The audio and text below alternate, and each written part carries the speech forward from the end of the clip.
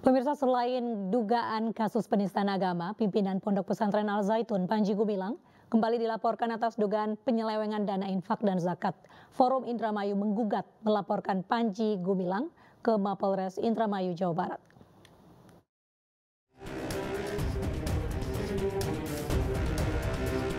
Setelah sempat berunjuk rasa di Pondok Pesantren Al Zaitun beberapa waktu lalu, Forum Indramayu menggugat atau FIM Senin siang mendatangi Mapolres Indramayu.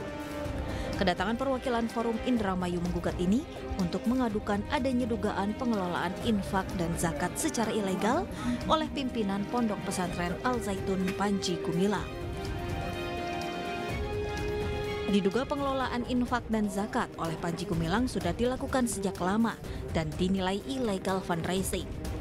Hal tersebut berdasarkan analisa FIM dari video wawancara ex wali santri di media nasional.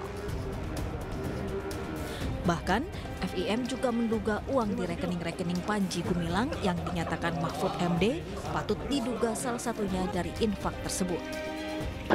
Mengelola itu harus ada aturan pijakan hukumnya. Bagaimana negara membatasi Nih duit-duit yang dinyatakan oleh Pak Mahfud itu di rekening-rekening itu patut diduga asalnya salah satunya dari infak dan sodako kelompok-kelompok mereka yang diduga NII.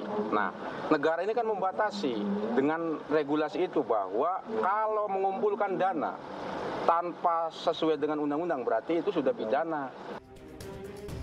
Forum Indramayu menggugat juga menilai terkait infak dan zakat sudah ada kewenangannya dan diatur dalam Undang-Undang Nomor 23 Tahun 2011. Dalam hal ini, Basnas atau yang bukan dari kementerian adalah illegal fundraising. Dari Indramayu, Jawa Barat, Toy Skandar, iNews melaporkan.